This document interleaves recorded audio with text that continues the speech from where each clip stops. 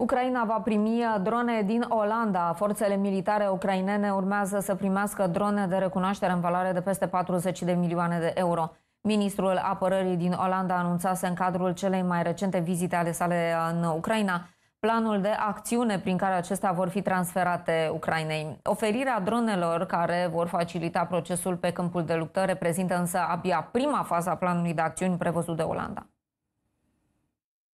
Ministrul olandez al apărării a anunțat că va achiziționa drone de recunoaștere în valoare de 42,6 milioane de euro de la compania locală Delta Quad pentru Ucraina. Potrivit lui Ruben Breckelmans, planul de acțiune are un buget de 400 de milioane de euro, dintre care peste 50% va fi finanțat de industria olandeză. drones aangekondigd waarin voor 400 miljoen, ook een heel serieus bedrag, uh, Oekraïne van de meest geavanceerde drones gaan voorzien. Maar Oekraïne zegt ook dat ze dat van Nederland enorm waarderen dat we dat doen. Dronele de recunoaștere neînarmate au rolul de a oferi imagini în timp real de pe câmpurile de luptă, de a furniza informații și de a supraveghea împrejurimile. Potrivit ministrului olandez, aproximativ jumătate din investiție va fi alocată pentru țările de jos, în timp ce restul sumei va fi împărțită între Ucraina și alte țări. Proiectul pentru drone va fi cu atât mai eficient pentru Ucraina cu cât îmbină inovația Ucrainei cu cunoștințele olandeze pentru a îmbunătăți tehnologia folosită pe câmpul de luptă luptă. Nu este însă pentru prima oară când țările de jos decid să ofere ajutor Ucrainei în războiul cu Rusia. Olanda a oferit Ucrainei ajutor militar, inclusiv tancuri, muniție și avioane de luptă F-16. Țările de jos au de gând să mai livreze avioane F-16 și în lunile care vor urma. De asemenea, țara a anunțat și transferul sistemului de apărare antiaeriană Patriot în Ucraina.